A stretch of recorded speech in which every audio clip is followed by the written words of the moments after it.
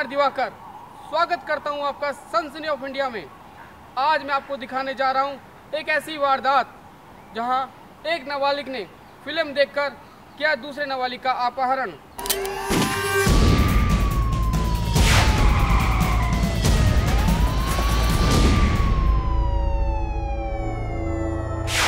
रोहित आठवीं कक्षा का छात्र था। रोहित के पिता कर्जे में डूब चुके थे। रोहित ने फ़िल्म देखकर अपने पिता का कर्जा चुकाने के लिए जो कदम उठाया, वहाँ से रोहित पहुँच गया सलाखों के पीछे।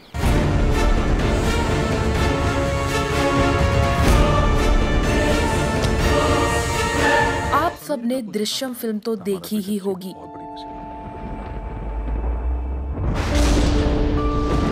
जिसका किरदार अजय देवगन ने निभाया था।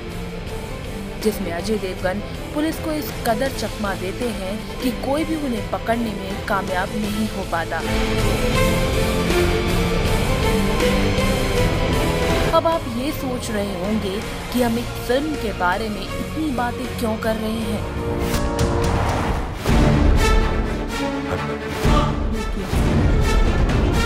दरअसल बात यह है अक्सर लोग फ़िल्मों को और टीवी सीरियल्स को देख उनसे सही चीज़ें कम और गलत बातें ज़्यादा सीख लेते हैं। फिल्मी दुनिया की कहानियों को अक्सर लोग हकीकत में जीते हैं। वो सोचते हैं कि वो भी ऐसा कर सकते हैं और इन्हीं सब कारणों से कई घटनाएँ घटती हैं।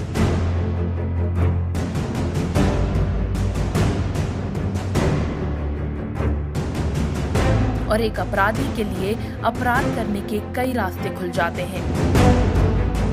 गौर हो कि कुछ समय पहले फ़िल्म स्पेशल 26 को देखकर उसी तरह से एक नकली सीबीआई की टीम तैयार की गई।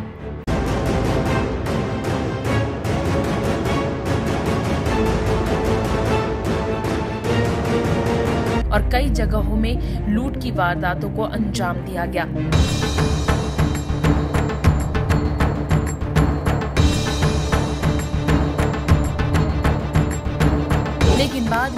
आरोपियों को पकड़ लिया गया था। लेकिन अब वही दूसरी ओर, इलाहाबाद में एक 15 साल के लड़के ने अपराध करने का तरीका टीवी से देख सीखा। इतना ही नहीं, उसे सीखने के बाद बल्कि उसका तरीका भी इस्तेमाल किया। जी हाँ आपने सही सुना। टीवी पर प्रसारित कार्यक्रम को लोग अक्सर अपनी जीवनी से जोड़ लेते हैं। और उन सबसे बहुत कुछ सीख लेते हैं। फ़िल्म देखकर फिल्मी स्टाइल में रोहित ने किडनैप तो कर लिया लेकिन जैसा उसने सोचा था कि फ़िल्मों में किडनैप करने के बाद तुरंत पैसा मिल जाता है उसे यहाँ भी मिल जाएगा। लेकिन यहाँ उसे पैसा तो नहीं मिला मिली तो जेल की सलाखें। दरअसल हुआ कुछ यूँ कि अपनी गरीबी मिटाने और अपने पिता को भारी कर्जे से छुटकारा दिलाने के लिए एक आठवीं कक्षा के छात्र ने पैसा कमाने का वो रास्ता चुना जो कि एक अपराध का रास्ता था। पैसों के लालच में आकर लोग अक्सर गलत कदम उठा लेते हैं और फिर पहुँच जाते हैं सलाखों के पीछे।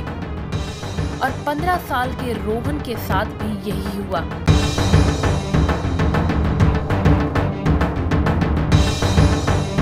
जिसने पैसों के लिए किया अपहरण। इलाहाबाद में एक आठवीं कक्षा के छात्र ने पैसों के लिए एक चौथी कक्षा के छात्र का अपहरण कर लिया।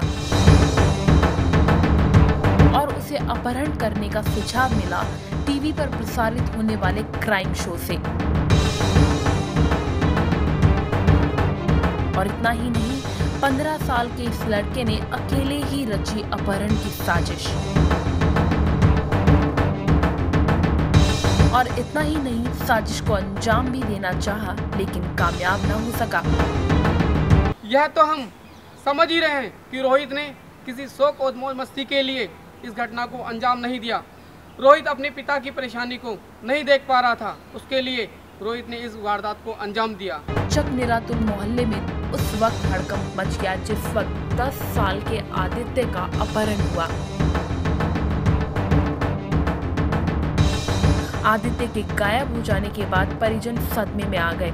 घबराए परिजन ने पुलिस में इस बात की सूचना दी और जानकारी मिलते ही पुलिस अपनी छानबीन में जुट गई।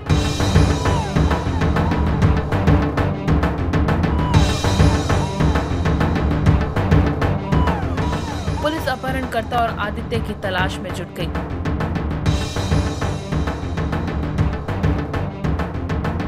आदित्य का अपहरण 15 साल के रमेश ने किया था।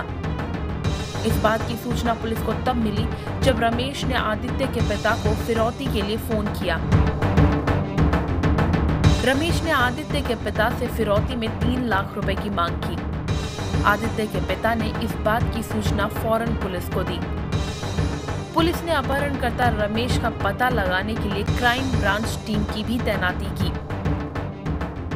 सभी आदित्य के तलाश में भटक रहे थे। और फिर इसी बीच आदित्य अपने आप ही घर वापस आ गया।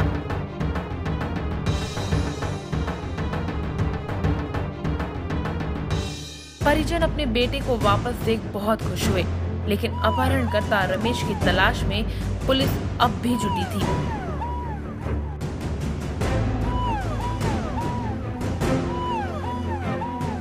ने आदित्य की निशानदेही में अपनी जाँच शुरू कर दी।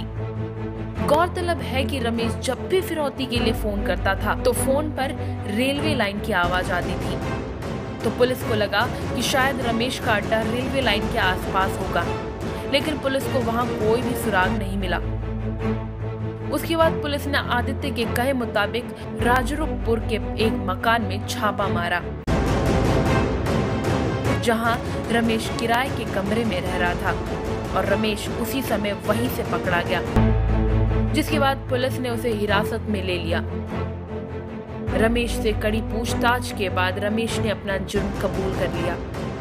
पुलिस के पूछताछ के दौरान रमेश ने अपना जुर्म तो कबूल कर लिया, लेकिन पुलिस का इस बात पर यकीन कर पाना थोड़ा मुश्किल सा था। पुलिस को ये शक था कि कहीं उसका कोई गैंग तो नहीं। और वो बाकी लोगों को बचाने के कारण अपना नाम तो नहीं ले रहा। लेकिन कड़ी छानबीन के बाद ये साफ़ हो गया कि वही इस अपहरण कांड का मास्टरमाइंड और इकलौता गुनहगार है।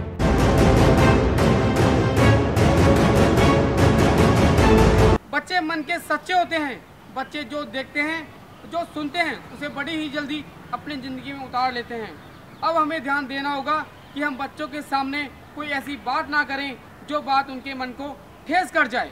रमेश ने पुलिस को पूछताछ में बताया कि वो एक मजदूर का बेटा है। उसके पिता मजदूरी करते हैं और उसके पिता पर पाँच लाख रुपए का कर्ज हो गया था, जिसे चुका पाना मुश्किल था। रमेश का परिवार बेहद गरीब था और इन्हीं मुसीबतों से जल्द से जल्द छुटकारा पाने के लिए रमेश ने अपहरण कर पैसा कमाने का सोचा।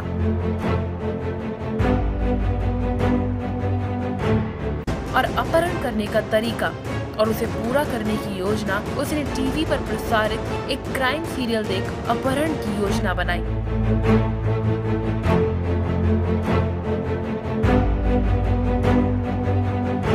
और बाद में पुलिस को चकमा देने का विचार, उसे दृश्यम फ़िल्म देखकर आया।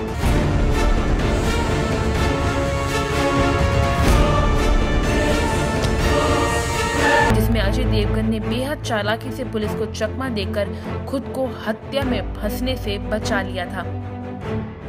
उसी फ़िल्म के तर्ज पर रमेश ने कई फर्जी सिम भी लिए और फिरौती के लिए फ़ोन करने के लिए वो चौफ टका रेलवे ट्रैक के पास मिलती और इसलिए पुलिस ने गढ़वा के जंगल में खोजबीन की, जबकि रमेश ने आदित्य को अपने कमरे में बंधक बना के रखा था। पंद्रह साल के लड़के के इस शातिर अंदाज ने पुलिस को भी चौंका दिया। लेकिन उसे कोर्ट के आदेश पर बाल सुधार गृह भेज दिया गया है। एक अपराध को जगाने और उसे अंजाम देने का तरीका कई बार बच्चे टीवी देखकर और फ़िल्म देखकर सीख लेते हैं।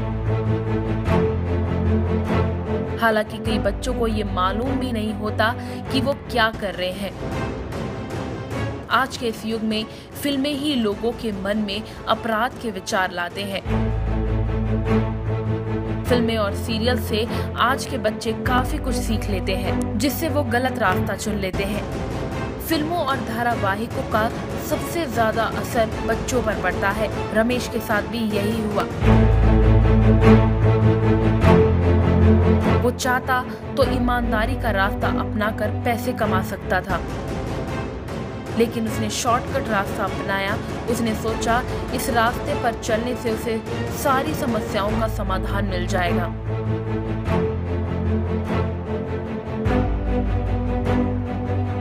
लेकिन उसे सही रास्ता बताने की ज़िम्मेदारी किसकी थी? उसके माँ बाप की। जी हाँ।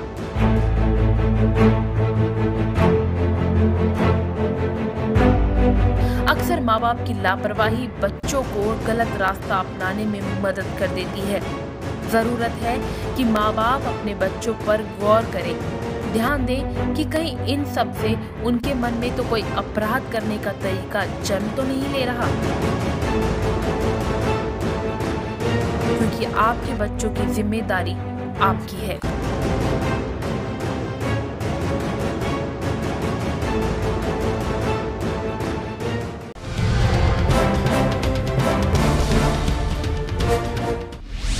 कड़ी नज़र। खरी खबर। और सच दिखाने की हिम्मत। सच दिखाते हैं हम। सनसनी ऑफ़ इंडिया, हिंदी साप्ताहिक न्यूज़पेपर हर रविवार आपके द्वार। जो आप तक पहुंचाता है, क्राइम से जुड़ी सभी खबरें, सिर्फ़ पाँच रुपए में। इसके अलावा ऑनलाइन खबरें पढ़ने या देखने के लिए आप हमारी वेबसाइट www.sansani.tv पर जा सकते हैं।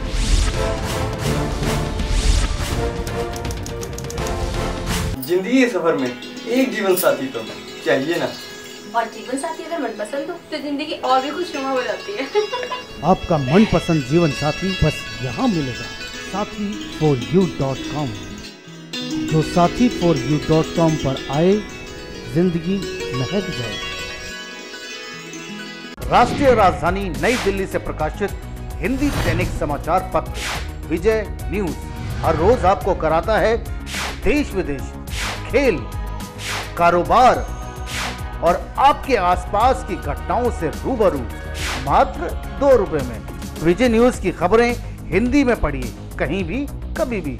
बस लॉगिन करें www.vijaynews.in मोबाइल में हिंदी में खबरें पढ़ने के लिए Android user Google Play Store से विजय न्यूज़ ऐप डाउनलोड कर सकते हैं।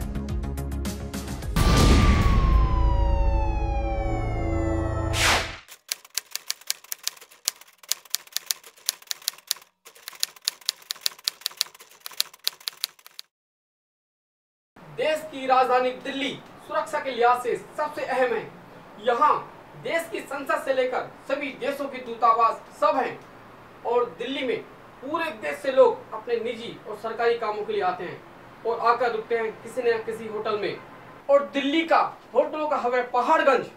पहाड़गंज दिल्ली के बीच में और यहाँ टूरिस्टों की संख्या अधिक होने से घर भी होटलों में तब्दील हो गए हैं। यहाँ होटलों का पूरा हब बन गया है। अब इन होटलों में लोग तो आकर रुकते हैं, पर इन होटलों का खुलासा देखकर आप सन रह जाएँगे।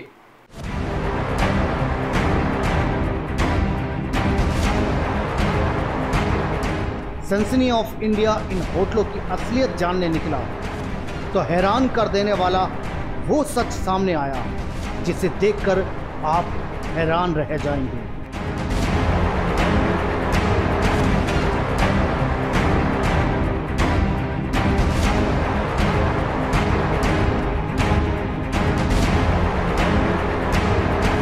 देश की सुरक्षा के लिहाज से होटल बिल्कुल संजीदा नहीं है।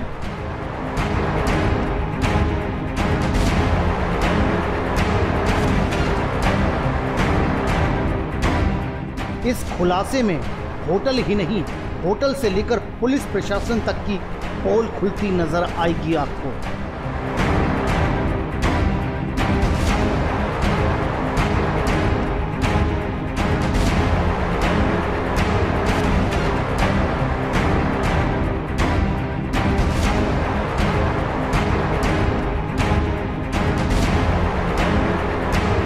होटलों की असलियत जानने सनसनी ऑफ़ इंडिया की टीम जस्ट डायल पर मसाद पार्लर, पहाड़गंज और पहाड़गंज में जगह जगह पर पब्लिक बाथरूम खम्बे टेलीफोन, बक्सों पर चिपके मसाद पार्लर के पर्चों पर दिए गए नंबरों के ज़रिए पहुँची तो सब हैरान।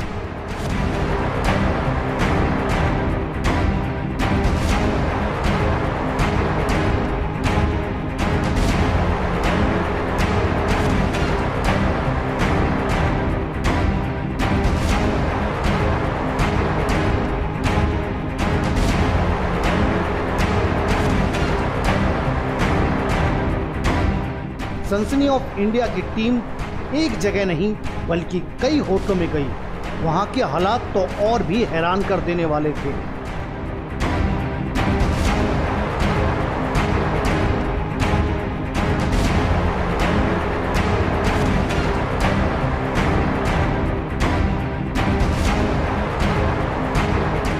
यदि इन होटलों को देखें तो जीबी रोड से भी बड़ा सेक्स का कारोबार ये होटल कर रहे हैं।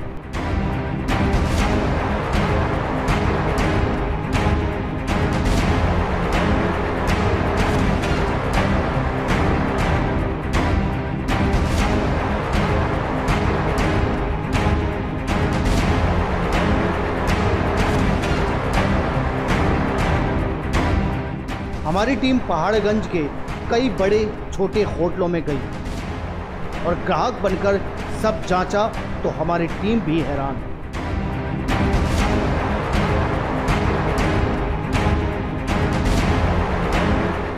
इन होटलों में चल रहा है देह व्यापार का बड़ा धंधा। सभी तो नहीं, पर जितने होटलों में असलियत हमारी न्यूज़ टीम ने जाननी चाहिए, वहाँ उन्हें मिला जिसम फिरोजी का धंधा। सबसे पहले हमारी टीम पहाड़गंज के आकाश प्लाजा होटल में गई।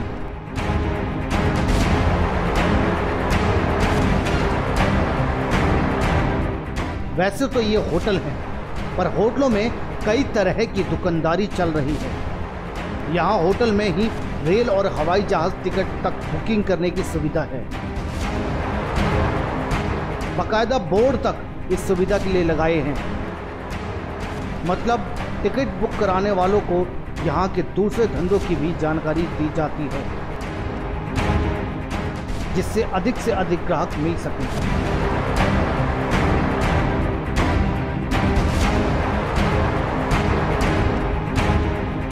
यहाँ हमारे रिपोर्टर ने दलाल का सहारा लिया, जो अक्सर इन होटलों के आसपास मिलते हैं।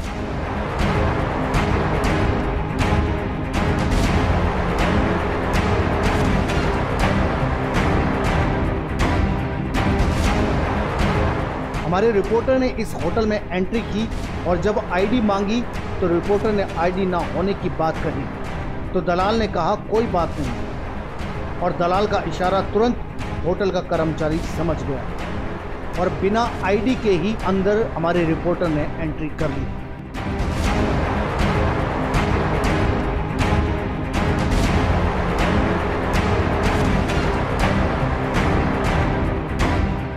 अंदर देखिए। छोटे छोटे कमरे जिन्हें आप डेली यूज़ के लिए भी शायद पसंद ना करें। कमरे रहने के लिहाज से बहुत ही छोटे हैं। कमरों में जगह जगह गंदगी थी। लग रहा था जैसे यहाँ कमरे मात्र मौज मस्ती के लिए ही बने हैं।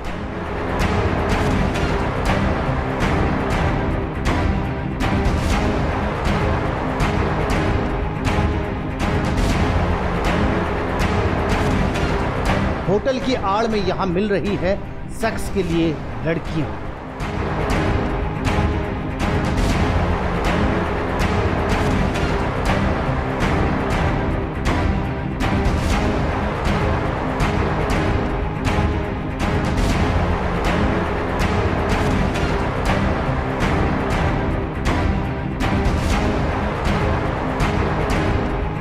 हमारे रिपोर्टर ने पूरी सच्चाई देखिए कैसे कैमरे में शूट की और दुनिया के सामने ये सच लाई कि इन होटलों में क्या हो रहा है?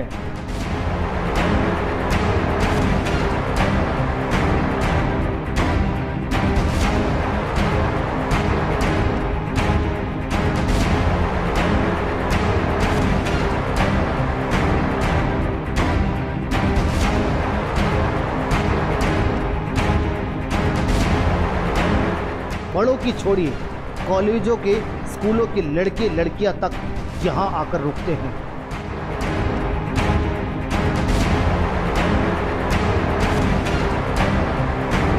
और कुछ घंटे इन जैसे होटलों के कमरों में बिताते हैं।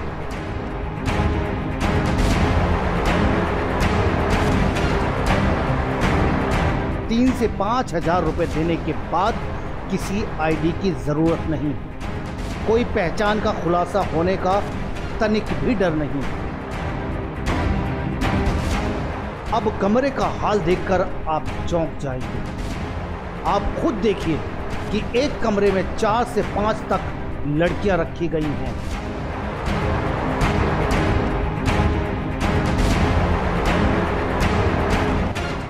जी हाँ ये कमरा जीबी रोड के कोठे का नहीं, बल्कि पहाड़गंज के होटल आकाश प्लाजा का है।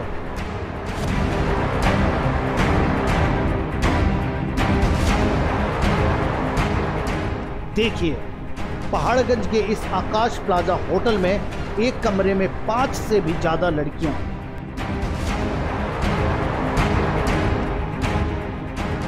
कैसे कोई परिवार के साथ इस होटल में रुक सकता है?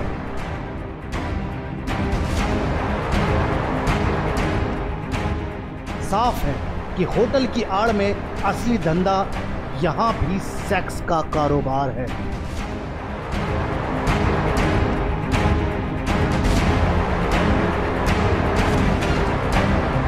यहाँ देखिए, लड़कियाँ कैसे तैयार भी हो जाती हैं।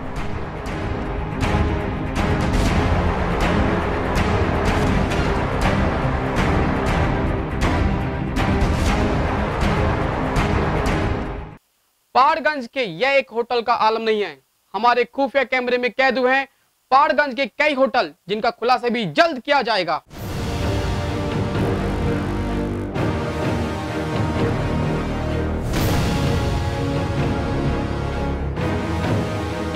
अब हमारा रिपोर्टर एक होटल से दूसरे कारोबार पर उंगली ना उठे। ये जांचने के लिए दूसरे होटल में आता है। देखिए, यहाँ भी दलालों की भरमार है।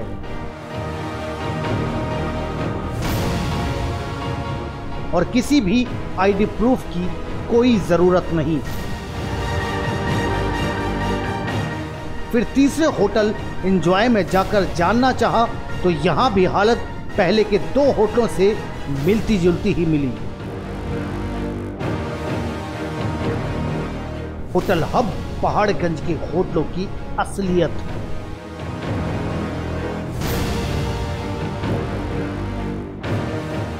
अभी आपको दिखाएँगे कि सुरक्षा के लिहाज से ये होटल कितने खरे हैं।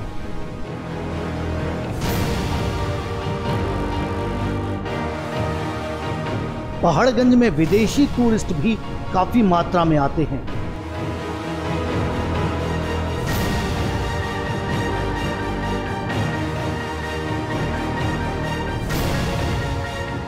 बाहर से आने वाले टूरिस्ट, चाहे घरेलू हो या विदेशी, वे अधिकतर इन्हीं होटलों में आकर रुकते हैं।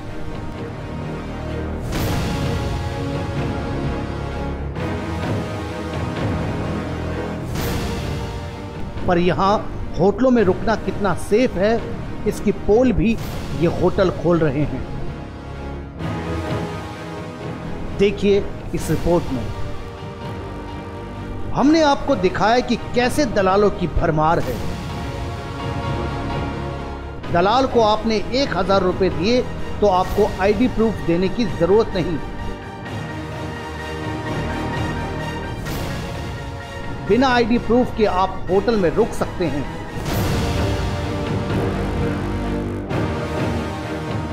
ये देखिए, ये पहाड़गंज का होटल आकाश प्लाजा है।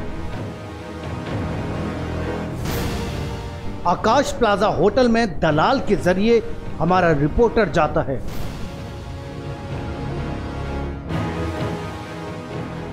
और कुछ पैसे दलाल को दिए तो बिना आईडी प्रूफ के ही होटल कर्मचारी की मिली भगत से होटल में एंट्री हो जाती है। अब देखिए, बिना आईडी के इन होटलों में एंट्री हो रही है।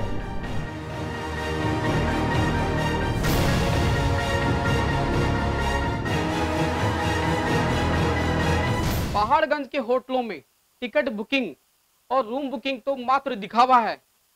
असल में कुछ होटलों में टिकट बुकिंग और होटल बुकिंग की आड़ में चल रहा है देह व्यापार का धंधा, जो कि सनसनी ऑफ़ इंडिया के खुफिया कैमरे में कैद हुआ है। यहाँ होटल ही नहीं, पुलिस पर भी बड़े सवाल खड़े हो रहे हैं। यहाँ होटलों पर नज़र रखने के लिए दिल्ली पुलिस ने होटलों में रजिस्टर शुरू किए, सीसीटीवी कैमरे लगाए। दिल्ली पुलिस का लाइसेंसिंग डिपार्टमेंट होटलों के रजिस्टरों को चेक करता है। पर विभाग क्या चेक करता है? इसकी पोल ये दलालों के ज़रिए बिना आईडी की एंट्री खोल रही है।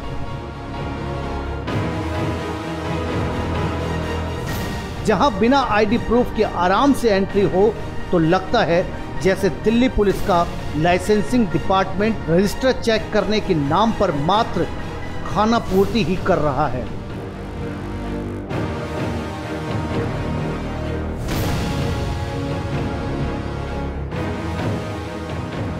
साथ ही इस मामले में पहाड़गंज थाना पुलिस पर भी बड़े सवाल खड़े होते हैं, जो इन होटलों को चेक करती है, कमरों और ग्राहकों की गिनती करती है, सीसीटीवी चेक करती है।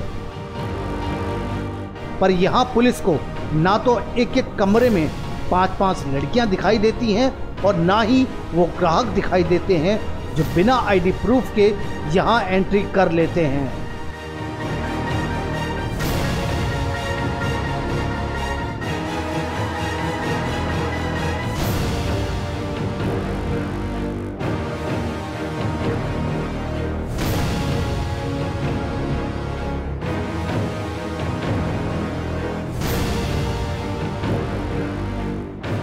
ऐसे तो इन दलालों के ज़रिए कोई भी आतंकवादी आराम से इन होटलों में रुक सकता है और उन आतंकवादियों का कोई भी प्रूफ इन होटलों के पास नहीं होगा, जो सेफ्टी के लिहाज से बेहद खतरनाक है।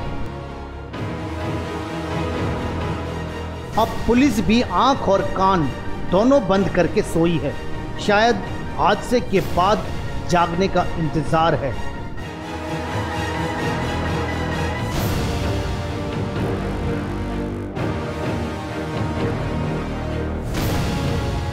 सवाल ये भी खड़ा होता है कि क्या पुलिस जानबूझकर सोई है?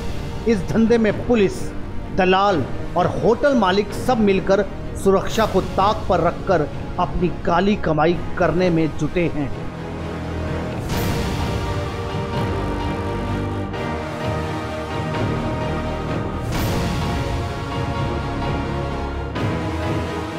हमारा मकसद पहाड़गंज के सभी होटलों को बदनाम करना नहीं है। हो सकता है कुछ होटल मापदंडों में खड़े हों, पर जिन होटलों में हमारा रिपोर्टर गया, वहाँ सभी जगह ये घिनौना खेल देखकर एक चिंता का विषय ज़रूर खड़ा होता है, जिस पर प्रशासन वक्त रहते ध्यान दे तो बेहद अच्छा होगा।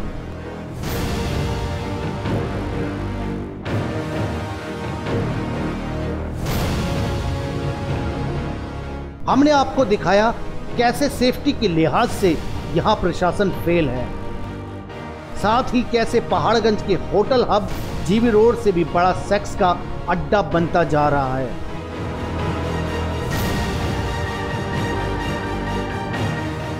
ज़रूरत है, वक्त रहते प्रशासन इस पर काबू पाए, वरना इस कारोबार को धीरे धीरे पहाड़गंज से दिल्ली के दूसरे होटलों तक पहुँचने में कोई देरी नहीं लगेगी।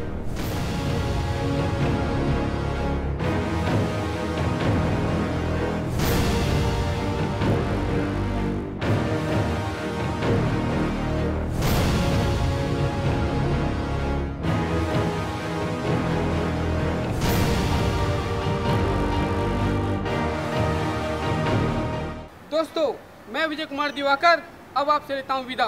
कल मैं फिर मिलूँगा इसी चैनल पर, इसी समय कुछ नई खबरों के साथ। और हाँ दोस्तों, जाते जाते मैं आपको बताना चाहता हूँ कि अगर आपके आसपास हो रही है कोई वारदात या आपको है किसी घटना की जानकारी तो आप हमारे WhatsApp number nine six five zero eight five four six two one या हमारी helpline number nine two one three one three zero two two one पर हमें जानकारी दे सकते हैं।